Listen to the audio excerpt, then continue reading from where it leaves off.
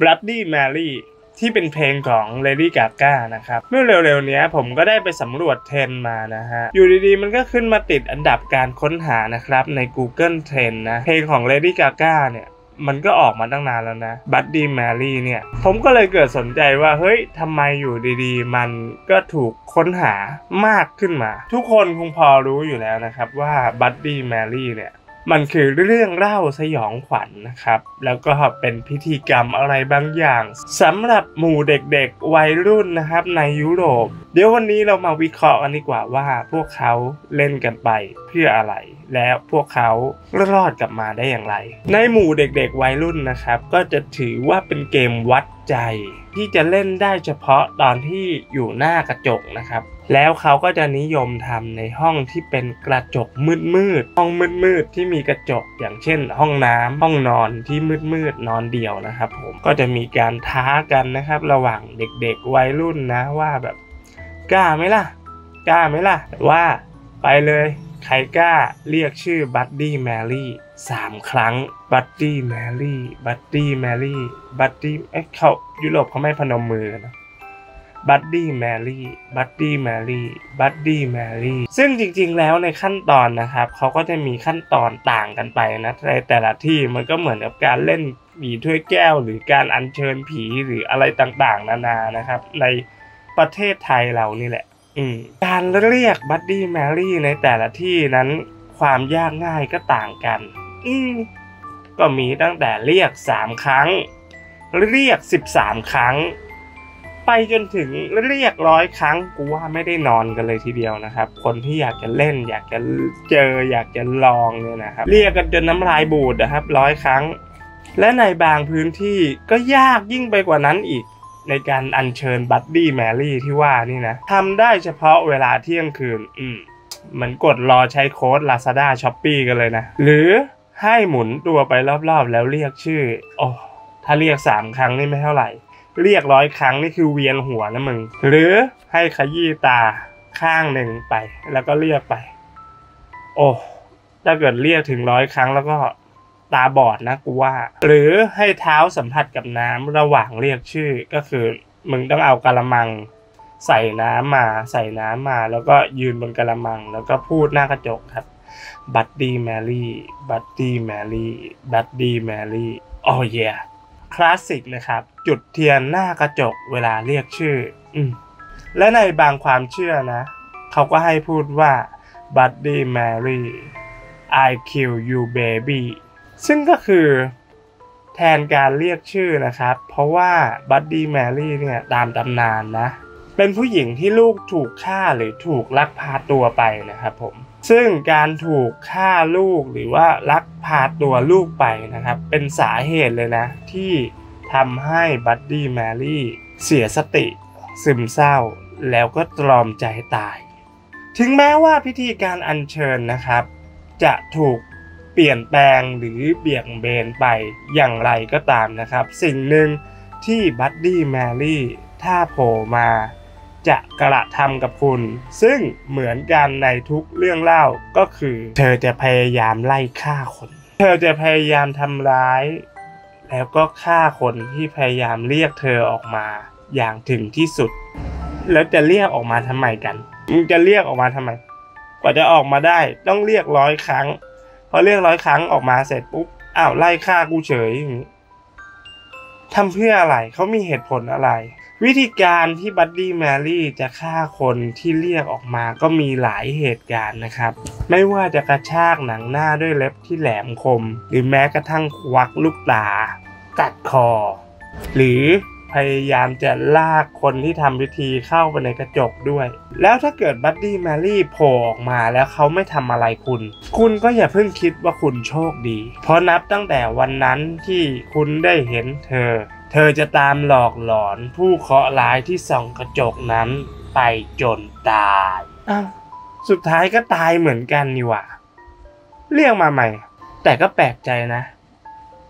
ถ้าเกิดมีคนรอดมาเล่าได้เนี่ยก็แปลว่าจะต้องมีคนทำสำเร็จ ก็มีคนบางกลุ่มนะที่เรียกชื่อเธอ 13 ครั้งหน้ากระจกแล้วบัดดี้แมรี่จะปรากฏตัว แล้วถ้าหากคุณไม่กลัวเธอ พยายามจะจ้องมองเข้าไปในกระจก คุณจะสามารถเจอกับคนที่รักที่จากคุณไปแล้วได้ อืม คุณจะมีเวลาเพียงหนึ่งนาทีเท่านั้นที่จะคุยกับคนที่คุณคิดถึง แล้ว คนคนนั้นก็จะจากคุณไป แล้วก็จะต้องทำพิธีใหม่ ในการเรียก Bloody Mary ขึ้นมาใหม่ บางความเชื่อก็บอกว่าคุณถ้าเจอแล้วอย่ากลัวเธอพยายามเพ่งมองเข้าไปในกระจก ผ่านตัวเธอเข้าไป คุณจะสามารถเจอเนื้อคู่ในอนาคตของคุณได้ หน้าตาแฟนของคุณหรือแม้กระทั่งลูกหลานเลยทีเดียว อืม ก็รอกันสักนิด ก็น่าจะได้มั้งไม่เห็นจะต้องเอาชีวิตไปเสี่ยงถึงขั้นดูหน้าสามีภรรยาในอนาคตกันเลย แต่แต่แต่ถ้าเกิดคุณเพ่งมองเข้าไปแล้วคุณเจอภาพของซากศพ ให้เข้าใจได้เลยว่า คุณจะไม่มีวันเจอเนื้อคู่ หรือคุณอาจจะตายก่อน นอกจากตำนานหรือพิธีกรรมพวกนี้แล้วก็จะมีคนเฒ่าคนแก่บางคนนะครับ เชื่อว่าผี Bloody Mary เนี่ย คือ Queen Mary ที่หนึ่ง ซึ่งเป็นคนนับถือศาสนาคริสต์นิกายคาทอลิก และต้องการกำจัดนิกายอื่น คือนิกายโปรเตสแตนต์นะครับ ให้หมดไป Queen Mary เนี่ยเขาว่ากันว่านะครับ เป็นคนที่แบบค่อนข้างจะบ้าคลั่งมาก แล้วก็มีโรคจิตนิดหน่อย ก็ไม่นิดหน่อยนะ ก็ถึงขั้นนะครับ รวบรวมผู้ชายเด็กสตรีมีครรภ์หรือสตรีที่เพิ่งคลอดนะครับ ทุกคนนะ ออกไปประหารกว่า 250 หรือ 350 ชีวิตนี่แหละ ประหารไปมากมายเลยนะครับ แต่ต่อมานะพระนางเนี่ยพยายามที่จะมีลูกนะครับ คืออยู่ดีๆก็คืออยากมีลูกขึ้นมา ทั้งๆที่อ่พระนางไม่เคยมีเพศสัมพันธ์ แต่พระนางอะก็คิดไปว่าเฮ้ย คิดไปเองว่าแบบพระนางมีบุตร คือท้องท้องแล้วคือตอนเนี้ยอยากมีลูกก็เอ้ยรู้สึกอุ้ยท้องท้องท้องอยู่ดีๆก็ท้องขึ้นมานะครับ ก็จึงเกิดภาวะคันเทียมขึ้นมานะครับทำให้ร่างกายนะครับ เสื่อมโทรมไปเรื่อยๆ อืมทำยังไงดี มันไม่ท้องมันไม่คลอดเลยอะ่ะ ก็เลยตอมใจตายซะเลย ก็จริงๆแล้วนะครับ ก็เหมือนกับกรรมตามสนองพระนางนั่นแหละ เพราะว่าพระนางก็ทรงไปแบบเหล่าสตรีมีครรภ์แล้วก็เด็กตั้งมากมายนะครับ ที่แค่แบบว่านับถือศาสนาหรือคิดไม่เหมือนกันอะ ซึ่งการชั่วชั่วหมู่นี่นะครับ ก็ทำให้พระนางเนี่ย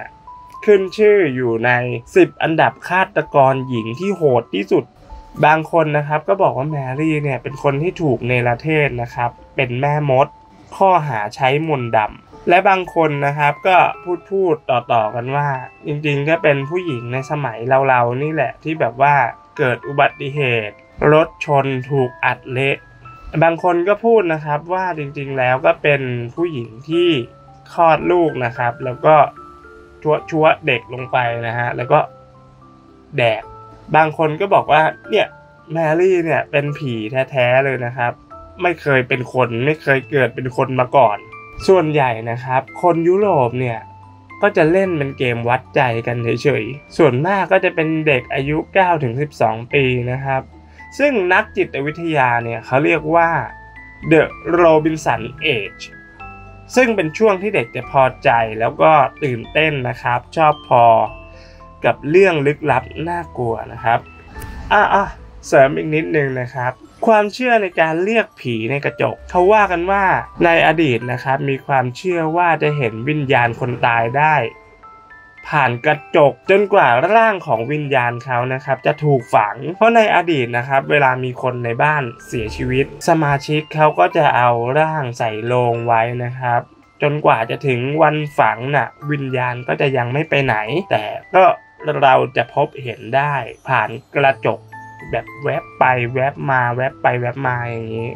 ซึ่งบางบ้านก็ถึงกับว่าต้องเอาผ้าคลุมกระจกในบ้านทิ้งไว้เลยนะ และนอกจากเรื่องที่จะเชิญผีแมรี่เนี่ยออกมาดูหน้าเนื้อคู่ในกระจกนะครับ ก็ยังมีวิธีอื่นๆ ที่เด็กผู้หญิงสมัยก่อน มักจะทำเช่นปอกแอปเปิลหน้ากระจกตอนเที่ยงคืน ร้องเพลงในคืนพิเศษ แล้วมองผ่านกระจกเร็วๆ ก็จะได้เห็นหน้าของเนื้อคู่ลางๆ เป็นต้น ส่วน Bloody Mary นะครับ นอกจากผีและเพลงที่เรารู้จักกันนะครับ ก็จะมี Bloody Mary ที่เป็นเครื่องดื่ม ถูกสร้างสรรค์มาโดย Pete Petiot ในปีพศ 2464 โอ้ ก็เป็นร้อยกว่าปีแล้วนะ มีอายุมากกว่าร้อยกว่าปีแล้วนะขณะที่ Pete Petiot ทำงานเป็นบาร์เทนเดอร์อยู่ที่ Harry New York Bar ในกรุงปารีสฝรั่งเศส โดยส่วนผสมดั้งเดิมอะมีแค่วอดก้า น้ำมะเขือเทศ แล้วก็น้ำแข็ง พวกเราถ้าเกิดอยากจะลองเครื่องดื่ม Bloody Mary ก็อย่าลืมนะครับ ไปซื้อดอยคำวอดก้า น้ำแข็ง ซึ่งชื่อ Bloody Mary นะครับ ก็มาจากฉายาของสมเด็จพระราชินีนาถที่หนึ่งแห่งอังกฤษนั่นเอง ซึ่งก็คือคนที่ผมเล่าไว้เมื่อกลางคลิปนั่นแหละ คนที่ทรงปราบปราม คริสต์นิกายโปรเตสแตนต์นั่นเองนะครับ ซึ่งก็เป็นแมรี่สุดโหดตามตำนานคนนั้นนั่นแหละสำหรับวันนี้ก็ขอลาไปก่อนนะครับ ใครที่อยากจะฟังเรื่องเล่าอะไรต่างๆนานาแล้วมาคิดวิเคราะห์แยกแยะไปด้วยกันนะครับ ก็อย่าลืมกดติดตามไว้ด้วยนะครับสำหรับวันนี้ลาไปก่อนด้วยบัดดี้แมรี่เรื่องหน้าเราจะมาคิดวิเคราะห์แยกแยะอะไรกันก็ติดตามบ๊ายบาย